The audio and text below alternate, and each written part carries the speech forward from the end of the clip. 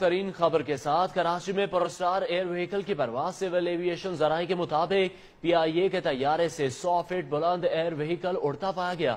واقعہ کراچی کے شمال میں چار آشاریہ سات نوٹیکل میل کے فاصلے پر پیش آیا۔ پی آئی اے سکھر جانے والی پرواز سے سو فٹ بلندی پر اڑتا دیکھا گیا۔ طیارے کے پائلٹ سے ایئر وہیکل کی نشاندہی کے بعد طیارے کا راستہ تبدیل کیا۔ واقعے کے وقت طیارہ تینتالیس سو فیٹ بلندی پر تھا۔ پائلٹ کے مطابق ایریل وہیکل کا رنگ گہرے بھورے رنگ کا تھا۔ اپڈیٹ کر رہے ہیں آپ کو اس عام خبر کے حوالے سے۔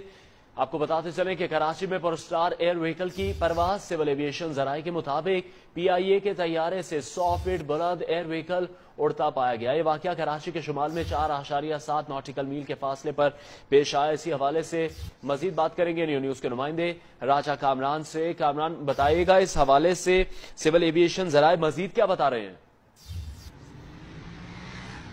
جی دیکھیں کراچی سے سکھر جانے والی پرواز جو ہے وہ تقریباً ساڑھے پانچ بجے کراچی کے ایئرپورٹ سے روانہ ہوئی تھی۔ جیسے یہ پرواز اپنی طیارہ اپنی ٹیک آف کے چند منٹ بعد جو ہے تقریباً چار ہزار، تین ہزار چار سو فٹ کی بلندی پر پہنچا۔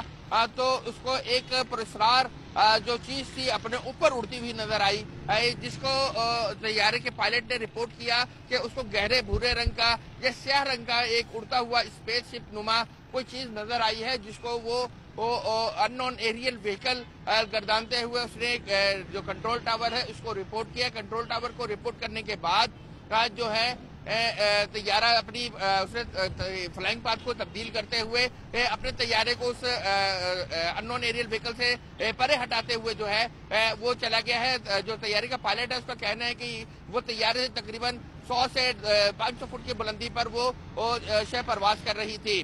اس حوالے سے جو ہے سول ایویشن نے اپنی تحقیقات شروع کر دی ہیں اور اس نے ضلع انتظامیہ سے کہا ہے کہ وہ اس بات کا نوٹس لے کے یہ کیا چیز ہے۔ ممکنہ طور پر ہم نے جب جی۔ اس معاملے کو تحقیق کرنے کی کوشش کی تو اس میں مختلف پہلو نکل کر سامنے آ رہے ہیں ممکنہ طور پر یہ جو موسمی پیش گوئی کرنے والا جو ایئر بلون ہے وہ ہو سکتا ہے کیونکہ شام کو پانچ بجے جو ہے ہماری جو سپارکو ہے جو ہمارا محکمہ موسمیات ہے جی۔ وہ ایئرپورٹ کے قریب موجود اپنی رسد گاہ سے جو ہے یہ بلون چھوڑتا ہے اور یہ فضا میں تقریباً دس میل بلندی تک جاتا ہے اور جو ہوا کی ڈائریکشن ہوتی ہے یہ اسی ڈائریکشن پہ اڑتا ہے۔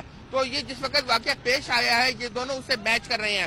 مگر ابھی تک اس بارے میں کہتوی طور پر نہیں کہا جا سکتا۔ آیا کہ یہ ممکنہ جو ہے ایئر بلون ہے کیونکہ ایئر بلون ہے یا نہیں ہے۔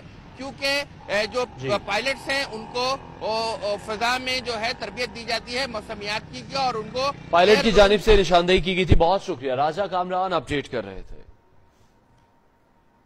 پاک فوج کا لائن آف کنٹرول پر گول